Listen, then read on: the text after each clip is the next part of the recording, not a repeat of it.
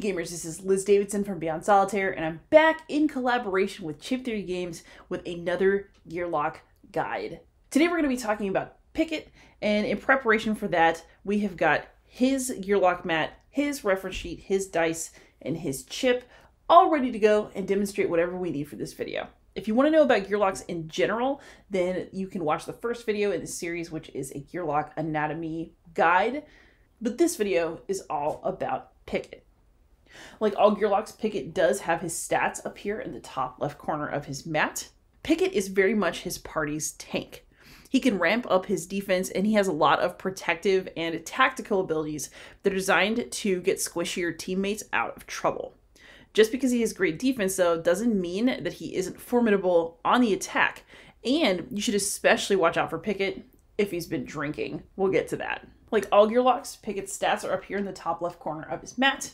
You can see that he is a melee fighter, which makes sense for a tank.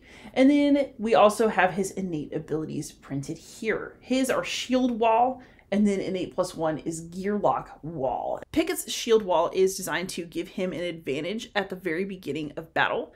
Essentially, at the start of battle, before his turn, without spinning any decks, just right off the bat, Picket rolls all of his defense dice, and then they go into active slots. Bones, however, do not go into backup. So essentially, at the beginning of battle, you can take two defense dice for Picket right now because he's at two. You roll them, and you put them in his active die slots, which is normally where you would put defense if you roll it and you're waiting to defend on a future turn. However, what makes this special with Picket is that instead of having to spend the dexterity to roll his defense on his first turn, he begins battle with some defense already ready to go, giving you that tactical advantage moving right into battle. Once again, if you roll a bone when you're rolling for shield wall, unfortunately you don't get to put it in your backup plan. It just doesn't go into an active slot, but getting to try for some early battle defense is a great thing. Once you get six bones in your backup plan and upgrade it to Picket's innate plus one, you get Gearloc Wall, which is an improvement on shield wall. So what Gearloc Wall will do is, once again, you roll your defense dice at the start of battle, but you actually have the option of locking them instead of putting them into your active slots. So Locked dice do not take away from the defense die total on a normal turn. So it essentially lets you roll defense dice beyond the limitations of your stat. And in addition to rolling dice at the very start of battle and putting them in active or locked slots, having Gearloc Wall allows Picket to always put defense dice into locked spots if he has the space, even during battle. So it gives him a lot of flexibility when it comes to where he's going to put his defense dice, how he wants to deploy them, and if he wants to kind of stretch his defensive possibilities a little extra. So, as innate abilities go, I think this one is pretty cool. But let's go ahead and talk about Picket's professions. He has four of them. We're going to talk about them in the order printed on the Gearloc mat. So, we're going to start with Captain, then we're going to go to Hero, then to Protector, and then to Warden. So we're going to hop around a little bit, but it's color coded and it's going to match what you can see on his reference sheet, which means that you're able to read along with me as we go. Picket's first profession is called Captain, and the four dice that are part of this profession are super interesting because instead of just rolling them once and exhausting them like a normal skill die, you're actually able to lock them up here where they can actually remain and have persistent effects for the duration of the game. They do not exhaust unless Picket is either knocked out, unless you're playing on adventure mode, in which case you don't lose your lock dice on a KO, or when you choose to exhaust them because you'd rather have some sort of different configuration of locked dice. Picket only has three locked spots, so you're going to have to choose carefully what you actually want in them. The first die in the captain profession is called Stand Ground, and it has an interesting combination of faces. Some faces on this die will give you reusable bones, Others are going to give you permanent regeneration. So let's talk about reusable bones first. This die face appears with some other gearlocs, but it is most prevalent with Picket. Picket is definitely the king of reusable bones. So in most cases, when you put a skill die in your backup plan, once you use the bones in your backup plan, that skill die will exhaust and it won't be available to you for the rest of the battle. However, if you have reusable bones, they will not exhaust when you take them out of the backup plan. Instead, they're going to go back to the skill slot on your Gearloc mat. So if we have our reusable bones here, let's say that we acquire another bone and we want to shield bash, This will just go back to the defense dice. And this one, instead of being exhausted like a typical skill die, will instead go back on to the mat where you can roll it again. What you might really be looking for, though, is permanent regeneration. If you roll this die face, if you choose, you can put it in a locked slot on Picket's Gearloc mat, and then at the start of your turn, you're going to heal for the number of HP printed on the die, and it lasts for the entire adventure. In other words, once he manages to lock this die, then Picket has the opportunity to regenerate every single turn for the rest of the entire game. Stand ground is the starting die in this profession, and as you can see, the arrows are going to lead you to further interesting possibilities. Let's go and head to shield form first. Shield form, once again, has a few different options on its die faces. The first one is, once again, reusable bones. One thing that makes this a good addition to this profession is that even if you have what you want in your lock spots, you can still roll these for your backup plan, and that's really never a bad idea. Additionally, you can end up locking constant defense, and this basically acts as an extra defense every single time you take damage for an attack for the rest of the game.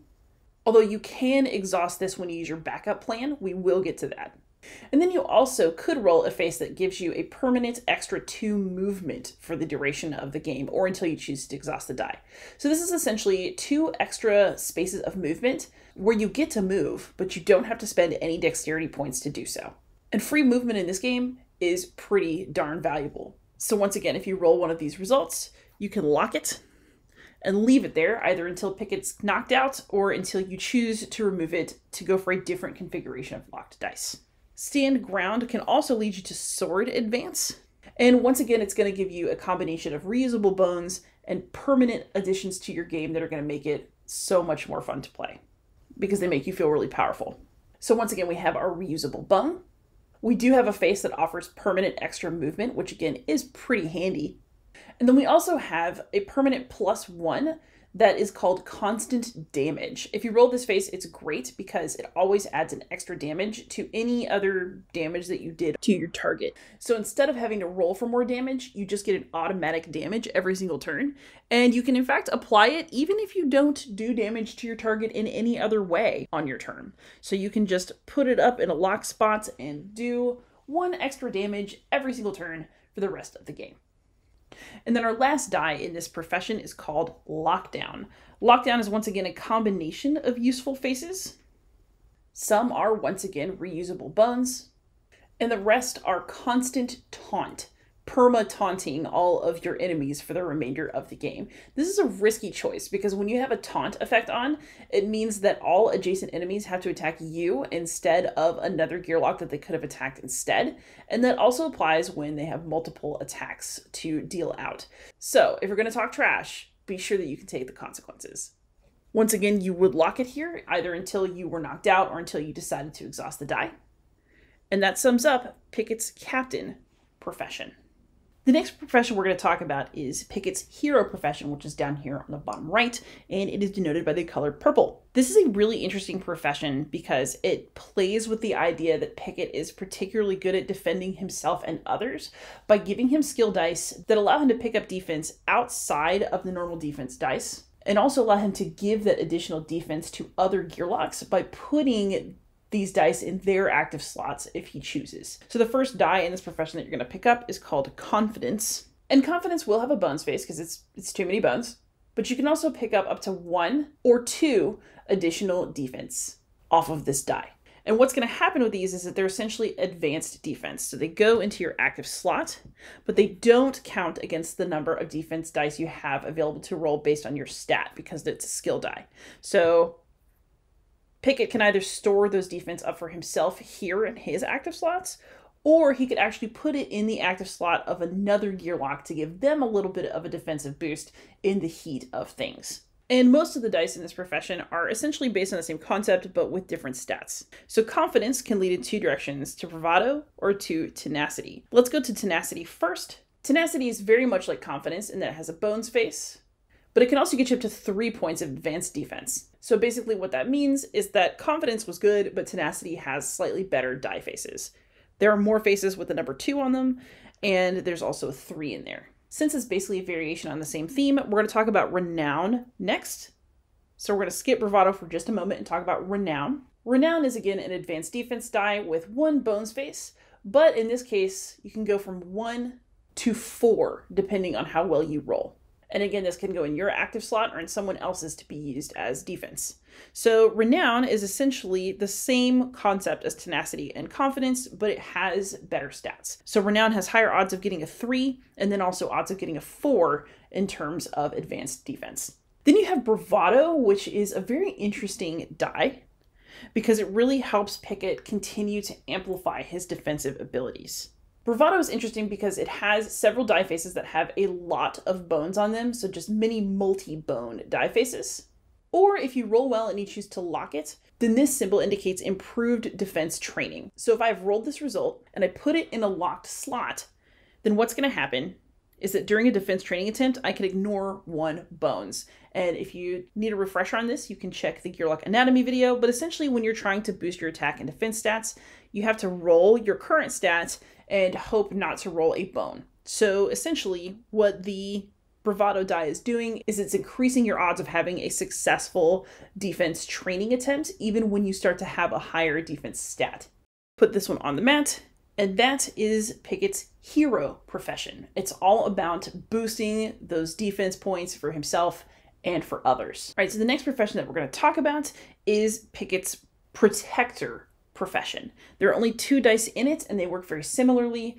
The dice just have different faces on them to give you different odds of rolling an actual intercept.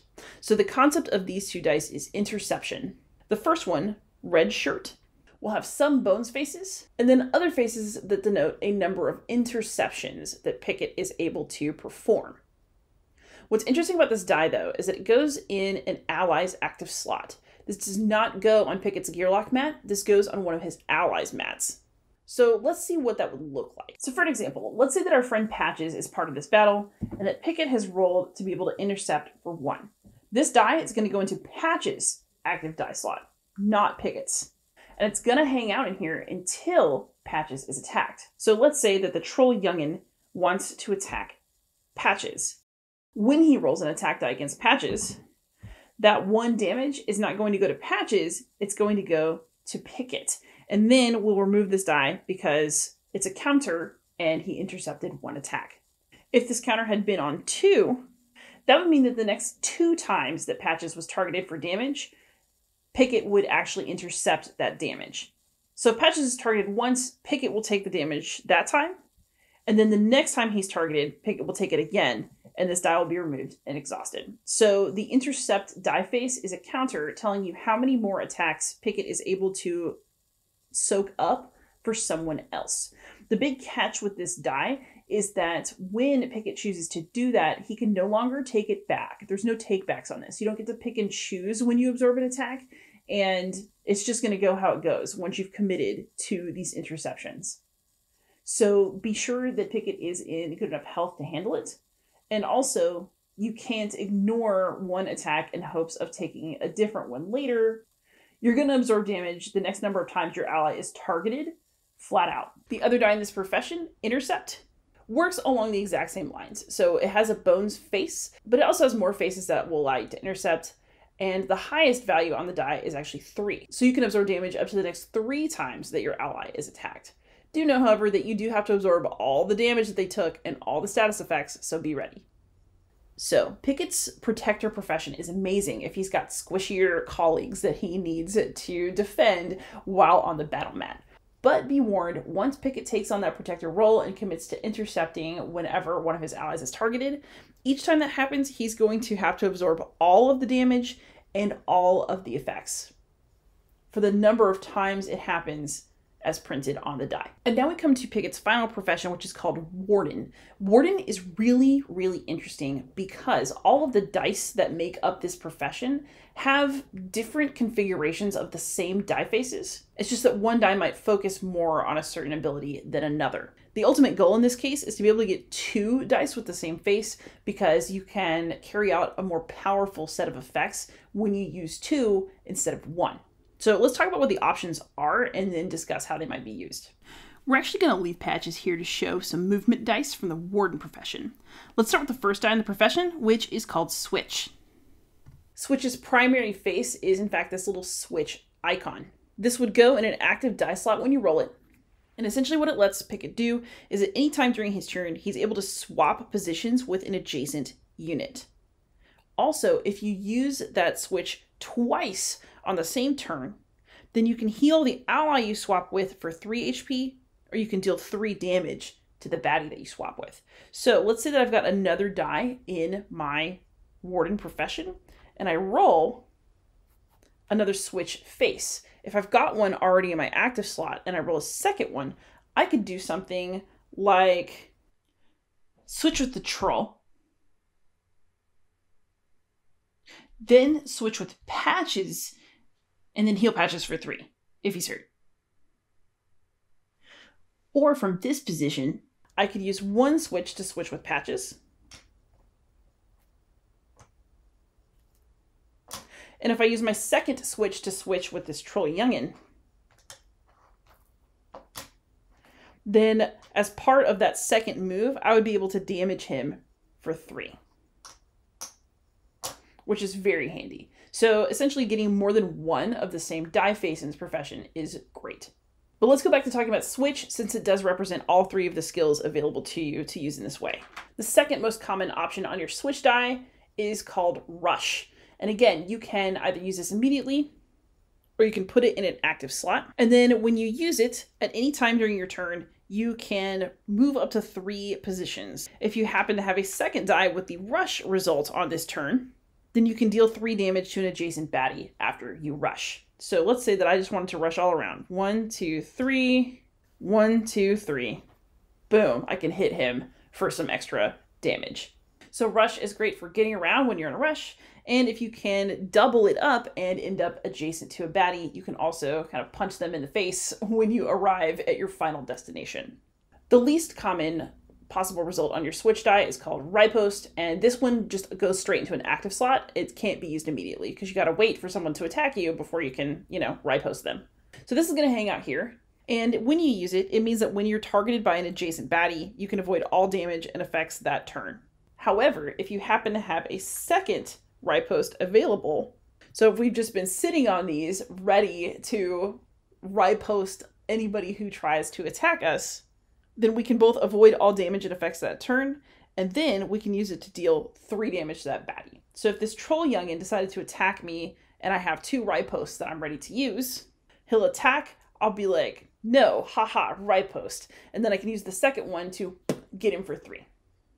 So essentially what the dice in this profession are doing is giving you the same set of options in different configurations, but what you really want is to have more than one die in this profession and then get two of the same result and use it to its max effect. So the first one we talked about was switch, which is mostly about switching. Most of the die faces will give you this result. You have rush, which once again offers all those different results, but most of the die faces are rush faces. You have riposte, which is the same deal, except that most of the faces will be riposte. And then you have situational awareness, which gives you an even distribution of all three options. So when you decide to develop this profession, be prepared to put at least two training points into it because really you're going to want at least two of the dice to use it to its maximum effect. And now let's talk about Picket's consumables, especially because they are fun. His first consumable is one to use with great caution. Remember when I said you should be careful around Picket when he drinks? That's because his first consumable is a potent potable called Orcish Ale. So when you roll Orcish Ale, you use it right away. You essentially put it in your active slot, and this is the number of turns the Orcish Ale will be in effect, and you count it down per turn. So your options are only one or two. Really, nobody can be that hammered for more than two turns. But the back of our handy reference sheet describes Orcish Ale, and it will tell you that Orcish Ale is essentially a desperate Hail Mary measure to try to get you an extra round or two. But what will happen when Picket drinks it is his HP is reduced to 1, and that amount cannot go up or down for the duration of the effects of Orcish Ale. At the same time, true damage and fatigue will not affect him while he is drunk on this stuff. So what will happen is that Picket will go to 1 HP, he'll be essentially invincible for the number of turns that the Orcish Ale is in effect, but then once it wears off, you exhaust that die, and Picket's just sitting there with 1 HP, wondering what the heck he did for the last couple turns of battle. So Orcish Ale is super fun, but use with caution. You also have the Gobby Jerky, What this is is essentially a jerky that Picket keeps in his pack, and he can restore the number of HP that is on the die face that he rolls when he goes for that jerky. So jerky is just a basic consumable that will heal him, and you definitely need that because he is a tank. All right, so now that we've discussed Picket's professions and his consumables, let's go ahead and go over his backup plan because this is actually an extremely important part of Picket's gameplay. And there are some special aspects of it that interact with his dice in ways that you need to know in order to play him correctly. So let's say bye to patches for now and focus on Picket. On his backup plan, one bone isn't going to get you anything. Six bones will, of course, upgrade you to Gearloc Wall, which is pretty great. But it's the ones in the middle that are very interesting. So, this first option for two bones is called Shield Bash. And Shield Bash is very powerful, but it's also going to leave Picket very vulnerable because what it tells you is to remove all defense, including newly rolled defense, active slots, and locked slots. So that means if I've just rolled a skill die from this profession that has some defense on it, or if I have defense waiting for me up here in my active slot, or if I have locked my perma defense from this die, from the shield form. All of those dice. So let's just say that they're all here, that we've got a bunch of different dice. It's awesome.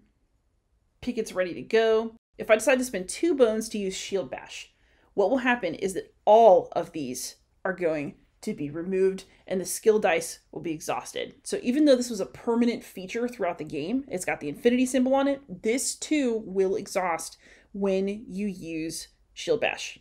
So this one will exhaust, this one will exhaust, this one will just come out and go back into the defense dice pool.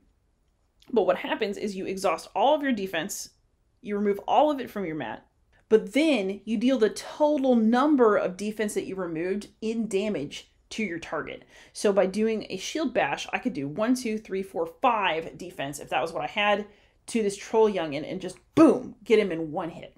So shield bash is incredibly powerful, but it also means that Picket, a character who is basically centered on having lots of defense ready to go at all times, will be very vulnerable after he uses it because he will have no defenses left.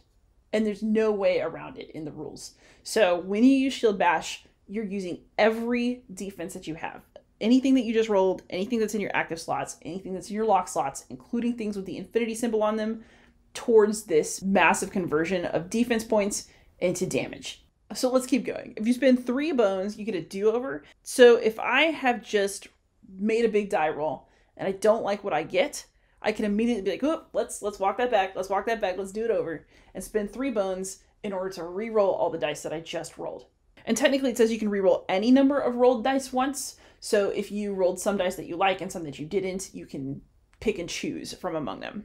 Four bones is going to get you benevolence. That lets you heal Picket for two HP, and it also lets you add a defense two die to his active slot. So it's like a way of letting Picket regenerate a little bit. And then for five bones, you get shield shock. Shield Shock is great because it's basically the same thing as Shield Bash. So once again, you sacrifice all of the defense available to you from every slot, active, locked, or freshly rolled. But in addition to the Shield Bash effect, Shield Shock lets you stun your target as long as that target is not a tyrant. So let's say that this Troll Youngin is in fact some sort of massive 20 point baddie. He's got tons of health, and we just hit him by converting all of our defense into damage. On top of that, we'll put a stun effect on him and a stun effect basically causes your target to miss their next turn. So with a shield shock, not only can you convert all of your defense points into damage, but you can leave your opponent seeing stars. As usual, Chip Theory does give some recommendations for a beginner's build for Picket on the reference sheet.